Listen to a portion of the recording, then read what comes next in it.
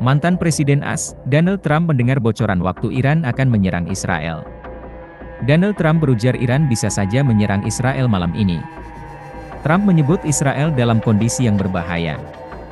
Dikutip dari Al Arabiya, hal itu disampaikan Donald Trump pada Selasa 6 Agustus. Ia mengatakan Israel akan diserang habis-habisan oleh Iran. Namun Trump sesumber serangan itu tidak akan terjadi jika ia berkuasa. Pasalnya, Trump mengklaim tidak ada yang berani menyerang Israel jika ia memimpin AS. Di satu sisi, Presiden AS Joe Biden telah memulai pembicaraan krisis dengan tim keamanan nasional pada Senin 5 Agustus.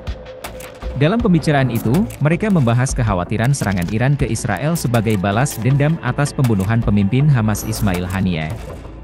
Oleh sebab itu, Biden melakukan berbagai upaya untuk mencegah serangan tersebut. Yakni meminta Raja Yordania Abdullah II untuk mencegah perang habis-habisan di Timur Tengah.